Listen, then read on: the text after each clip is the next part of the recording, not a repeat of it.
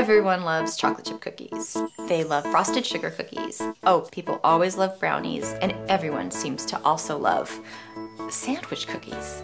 I mean, I don't need a dozen eggs, I need a lot of eggs. It hit me fully formed. The treats truck. I love the idea that I could reach people in so many different neighborhoods.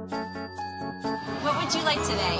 You got anything that's not too sweet? Yeah, yeah, like um, like an oatmeal cookie. These are pretty good. Thank you. Corner center a side? What do you guys like? Um, corner. It don't matter. They all taste good. Okay. This is the hardest I've ever worked in my life, but it feeds me. I love it. Sometimes it's just the best thing in the world, just a very simple sugar cookie. That's gonna make someone stay. It's a crazy business model. There's a, something a little bit kooky about it. But the amazing thing is that it works. Have a good day. You too. I feel like all those little moments Thank you. You're welcome. make up our lives.